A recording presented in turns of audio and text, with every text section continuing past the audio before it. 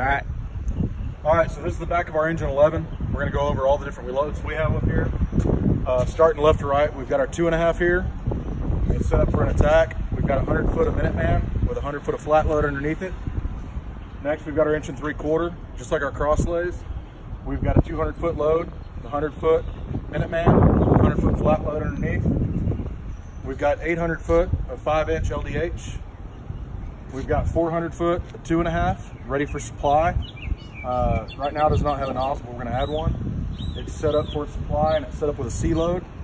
So it's got 100 foot stacks with loops. Start here, second pull, third pull. The fourth will be deployed either by your engineer or it'll deploy as you pull out. Then you've got your last stack here. It's another 200 foot attack line with 100 foot a Minuteman load and 100 foot flat load. How do you deploy the C load? Go over that. Okay, so for the C load, first firefighter's gonna come up. He's gonna shoulder this first load here.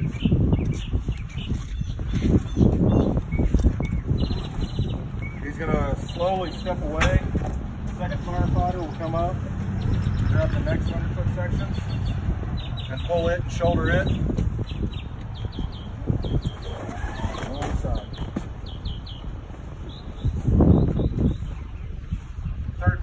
comes in, does the same thing.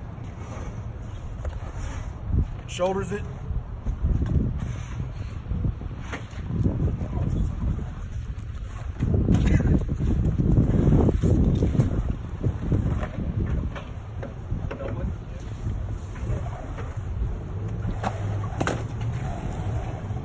And the third gets cleared by the engineer.